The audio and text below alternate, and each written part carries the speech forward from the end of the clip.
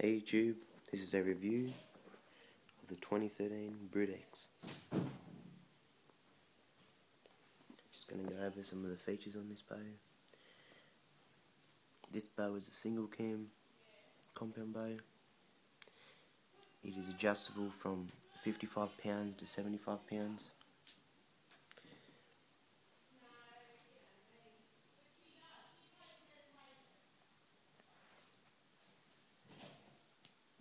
Very nice bow. I got this bow off eBay for 570 bucks. I bought it from America. I'm in Australia. So in Australia they're around 800 bucks. So I got it pretty cheap. Very nice. Got it in Skullworks. Came with a five pin sight. As you can see, comes with it's got a spirit level on there too. I've got one adjusted to, I've got one sighted in at 10, 20, 30, 40, 50 metres. The peep sight was installed, so was the D-loop. This bow shoots pretty fast, shoots around 320, well, that's its IBO rating, 320 feet per second. Came with a, that's the arrow rest that it came with, pretty nice.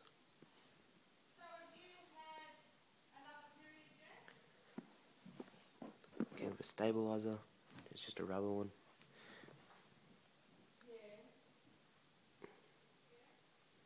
There's a cam. I'll show you how you how you adjust your draw length soon. I recommend getting bowstring waxed. Wax your string a lot, not too much, but if you don't wax them, the string's going to fray up and it's going to go all funny. And I recommend replacing I recommend getting this bow. This bow is awesome. I recommend placing the string every year. You don't have to. Depends how much you shoot it. Around 500, 5,000 shots. Then replace it.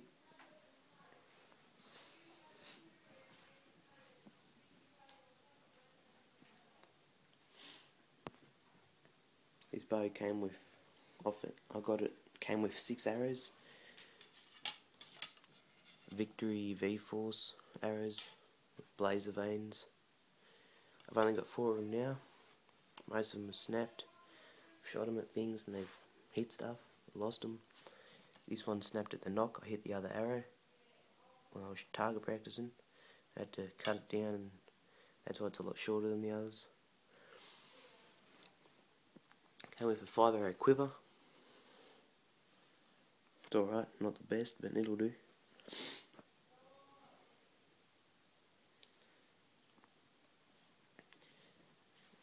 When you're adjusting the draw length, all you do,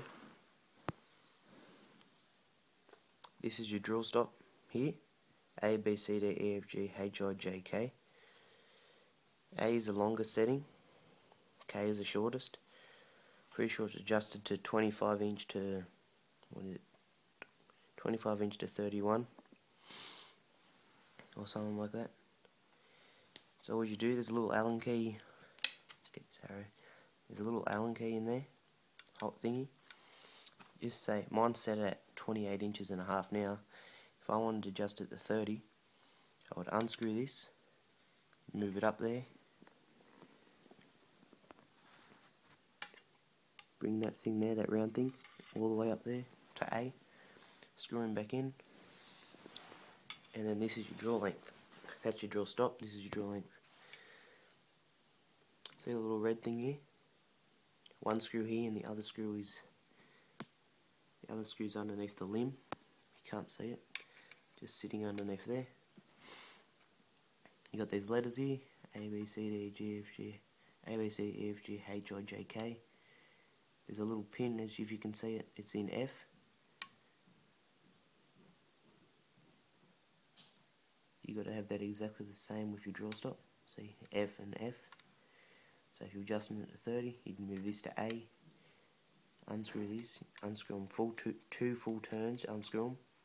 If you can't get to that other one, grab the cable, cam rotates, and then you unscrew it, move it around, put the pin in A, that little pin that's in there, right there, move that to A, tighten it back up, you're ready to go. Suppose it's nice. See, to adjust the weight,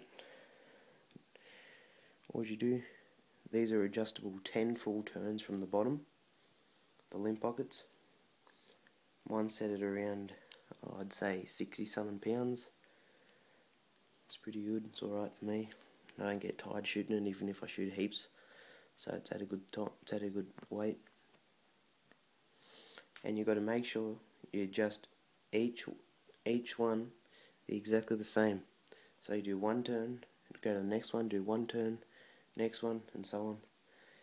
Because if you don't, if you put, just say you do two turns less, two turns, two turns more on that one than that one, one of these cables will be holding more, a lot more weight than it should be.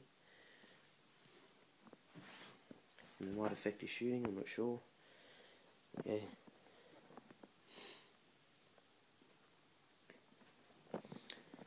So it comes with hush kit. It's got two of them, or three. You got one on the limbs here. These just dampen the sound. And you got one on this side, and you got a little one on the cable slide, just there.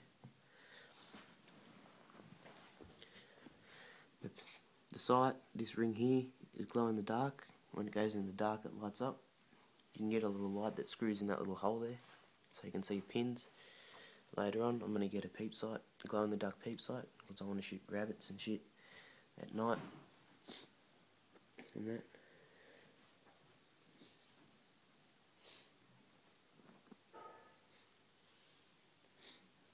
Mainly got this bow for shooting goats. Yeah.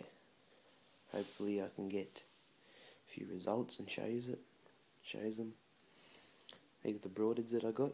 Got them off eBay. 20 bucks for six. Used one of them. That's just some red zone. These are rage broadheads. I love it. They're mad. what happens is you shoot them. They go into someone. They open up. And they, then they got a 2 inch cutting diameter. Fucking awesome. Search these up on YouTube. Rage Broadhead results. And trust me, you will buy them. They're the best. Anyways.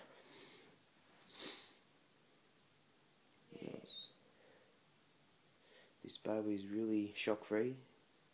The last bows I've had have only been cheap shit, cheap ones that have real little freaking there's real little wheels on them. They vibrate like hell. This is shock free, has like zero vibrate. Love it, it's real smooth shooting, it's fast. I'll be doing a shooting test with it when I get my new tree release because the last one I got was an Apex one. It was going alright for a few few weeks. I've had this back for two weeks now. Yeah. I just got a cheap trigger release. It was only 35 bucks, so I wanted to get it so I could get out and shoot this thing. I didn't regret shooting it either. It's the best. Anyways, other day I was pulling the release back. Click, it comes off. I hit myself in the jaw. Release snaps. That's how shit it is. I'm gonna get a new one soon. I've ordered it. When it comes, I'll be doing a shooting test. Shows how she goes. I'll be shooting from 10 every I'll be shooting from 10 meters, 20 meters, 30 meters, 40 meters, and 50 meters. Just so you can see how she how it goes from long distance and that. If you're gonna get a bow, you don't want too flash, but alright, I recommend getting this. Once you shoot it, it's nice and everything, but once you shoot it, it just feels that good. the wrist sling on here, I always use it, just in case you drop the bow or anything happens. It's always good to use it. I'm going to draw it back, just to show you. It's got 75% let off. It's alright. Yeah, I'm going to draw it back, just so you can see. And if you're drawing it back with your fingers, make sure you keep your fingers straight while you're letting it in, because if you torque it, it can come off the wheel, off the cams and it can de-string your bow so careful when you do that okay so this is 60 something pounds buckle back, it's alright. Got nice let off, 75%. Just sits there. Never grip the, never grip the bow when you're shooting. Always hold it like that if you grip it. See what happens when you grip it? Turns to the left. So you just sit it in your hand like that and you'll shoot straight.